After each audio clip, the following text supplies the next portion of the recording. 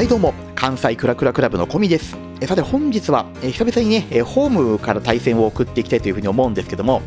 えっ、とちょっと最近ね私タウンホール11の動画あんまりなかったかなというふうに思っていてまあ、ちょこちょこねあのー動画の中に混ざって出てきてればしてるんですけども。ま、なんで今回は、えっと11の方向けのね、動画にしたいなと思っている中で、まあ、何にしようか考えたところ、まあ、よく最近私が取り上げているあのクイーベカボーラー・ウィズ・コウモリっていうこれのタウンホール11番をね、まずはあの皆さんにお送りするのが一番いいんじゃないかなと思って、今回は、えーそのような形の特集というかね、この戦術の特集に、えーしていきたいというふうに思います。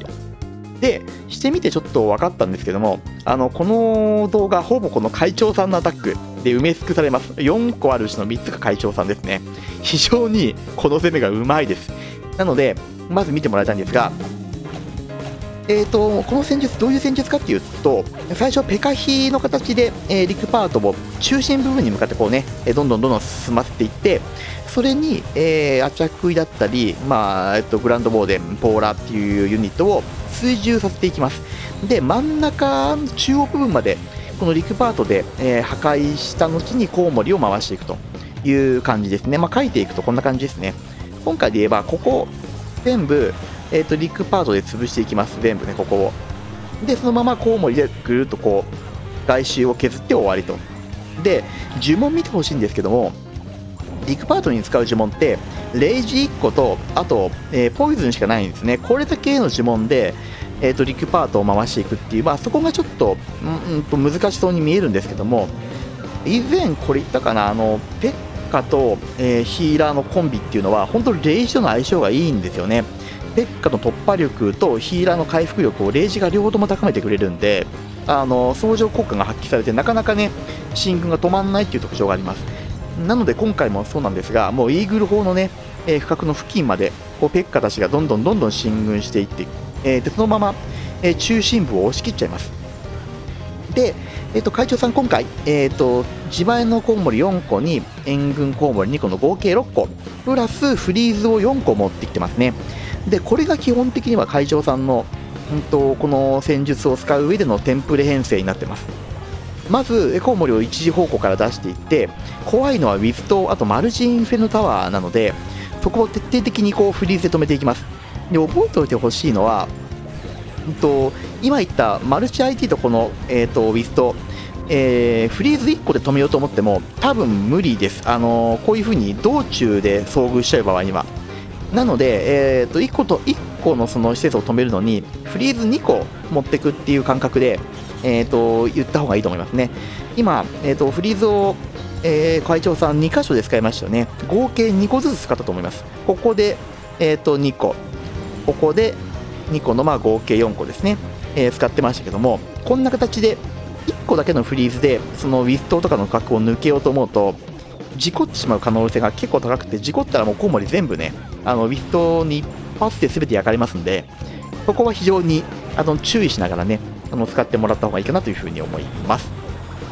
いや素晴らしいですよねタウンホール12ばかり、まあ、今まで私お送りしてきたんですが、まあ、11でもこんだけこの戦術って刺さるんだなっていうのが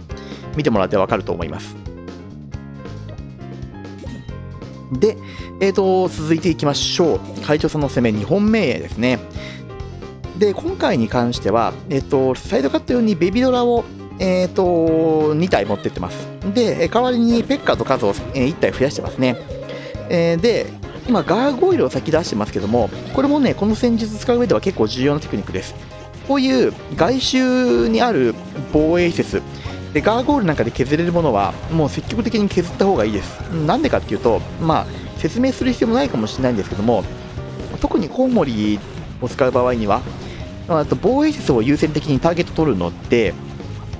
えっと、外周にね、防衛施設が残っていると、コウモリが割れちゃいますよね。なんで、それを避けるためにこう削りは入れておくべきですね。で、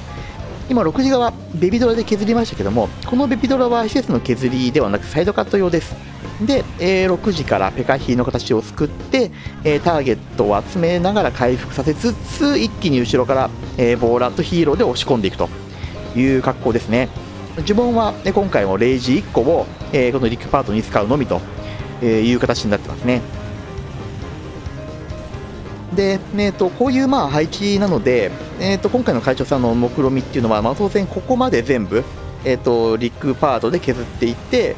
でコウモリをぐるっとこう回していくということですねでこのぐるっとコウモリを回す時なんですけども、うんと、コウモリ回す際にここ3個棒へ削ってあるのでコウモリがこっちにこうぐるっと行く絵が描けますよね。ここでこういう風にこっちにこう流れてしまうことがないという。これがね、えー、ルート作りをしてあげる上でやっぱりすごい、えー、重要だし分かれちゃうとコウモリがかっこ撃破されちゃいますんでね、まあ、そうならないようにしっかりと、えー、序盤削れる外周の防衛術は削っておくというのが大事ですね。でフリーズの呪文あと2個ありますが、まあ、怖いのはこのマルチ IT だけなのでこれですね。どんどんどんどんコウモリであとは押していってでマルチ IT のところでフリーズ2発をこう使っていって止めるということですね。素晴らしいアタック。今もフリーズ2個使ったの分かりますかね？マルチ IT に。やっぱ1個じゃね心もとないんですよね。2個あった方が絶対にいいと思います。これはタウンホール12でやる場合も同じですね。あの1個で止めれる、うん、時間っていうのは限られてるので、コウモリがいくらあの束になったとはいえね、あの進軍速度も速いとはいえ、1個でやると事故の可能性が非常に高い、えー、というところはね、よく覚えておいていただくと、特にフリーズのレベルがね、最大にならない11なんかではいいかなというふうに思います。さあ、どんどん行きましょう。次の動画も、えっ、ー、と、これテンプレ配置に近いですね。えっ、ー、と、ベビードラで、こちら上側のカット、ここをやっておきながら、ライドラでこの辺のカットをしていくと。で主力をぐーっとこんな風に流し込んでいってこのゾーンを全部こうカットしていくっていう感じですね非常にスムーズですよね、こう見ていくと。あのー、この戦術ってやることが決まっているので、あんまりその、なんていうのかな、うんと、事故る確率っていうのが少ない、えー、いう特徴があります。なので、えーと、思い通りにちゃんと,、うんとユニットを出せさえすれば、えー、大きな事故にはならないですね。でまあ、かつ今回はあのー、対戦の全開が欲しいアタックだったんで完全にこのタウンホールのねこれ逆側からこう攻めていってますけどもももしもこれが、あのー、リーグ戦とか星2が絶対いるという状況であるならばまこのタウンホール側からね攻めていけばいいだけの話で、まあ、どっちからでもいけるっていうところありますね。で、え中心部までしっかりペカヒンの形を作ったまんま、え入り込んでいってで、えーと、中央のイーグル方にターゲットがいったかなぐらいのところでコウモリが、えー、出ていきます。ここですね。これで中心部が綺麗にこうねえぐれていきましたんでもうあとは、えー、コウモリを回すだけですね。てきましたね。で、このままぐっといくのを見ていくと、ウィストがもう1個しかないですよね、これ。なので、あとは、え、ー、と、余ったフリーズの呪文っていうのを、なるべくこう、クロスポーとかね、えー、テスラとか、そういう攻撃速度の速い説に集めてます。意外とね、この戦術使う上で、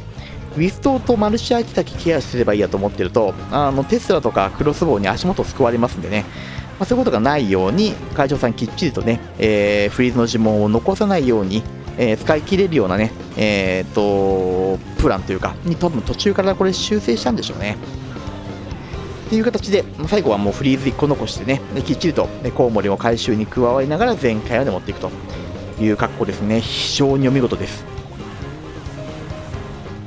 はい、ナイス全開だったんですが、どうでしょう。えっ、ー、と、今画面に映っているこの編成、ぜひね、あの、基本編成になるので、覚えておいてもらったらいいかなというふうに思います。で、えっ、ー、と、今、ベビドラが2体入ってますけども、この2体分っていうところをまあ多少調整して、ライドラ2体にしてもまあ成立しますし、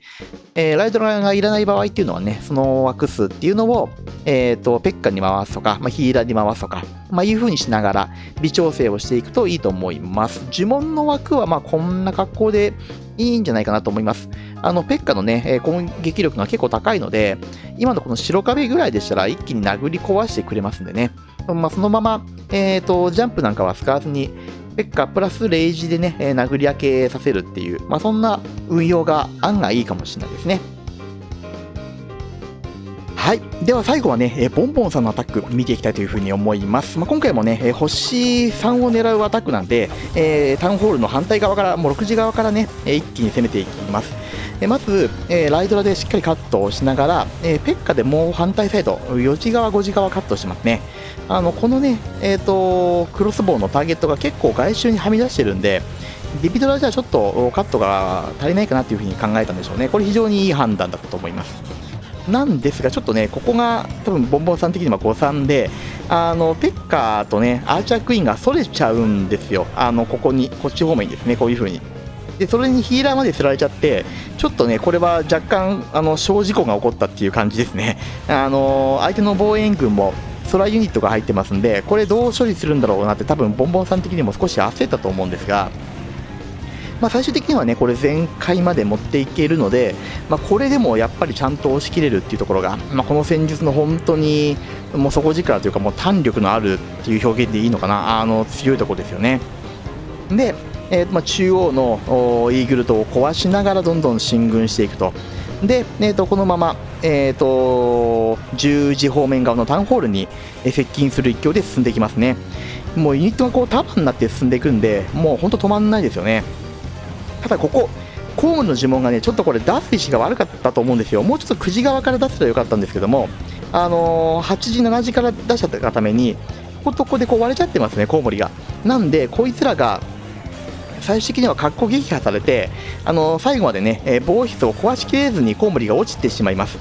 なんですけども、ここから全開まで生きてしまう理由が、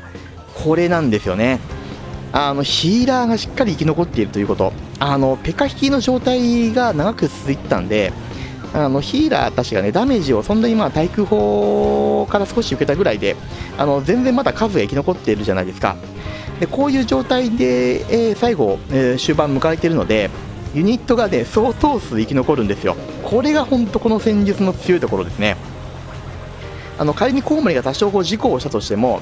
うんと、もうそもそもペカヒーにボーラーをつけて、えーペッカボーラーとヒーラーっていうのかな、えーに、えーヒーローがこうくっついていくともうそもそもその段階で強いのでこの形がですね多少コウモリが、あのー早死にしたとしてもこう全開まで持っていけると。これですね、もうぜひぜひね、あのこのアタック、あのタウンホール11の方で、あのもし今、前回の戦術がなかなかね、見つからなくて困ってるよっていう方がいたら、まずは、あのこれから始めてみることをお勧めしたいというふうに思いますし、これで、12になっても全然使える戦術なので、まあ、11の終盤で、そろそろ12に入ろうかなって考えている方もね、ぜひおすすめの戦術になってます。で、また、えー他のね、えー動画、数多く見たいっていうことであれば、私の過去動画にね、タウンホール12がメインですけども、まあ、これ関連の動画いっぱいありますんで、まあぜひぜひね、えーそちらもご参照いただければ、え幸いです。というところで、本日は失礼しますが、よろしければグッドボタン、チャンネル登録、そして今後もご視聴どうぞよろしくお願いいたします。ぜひね、カンクラにも遊びに来てください。では本日は失礼します。バイバイ。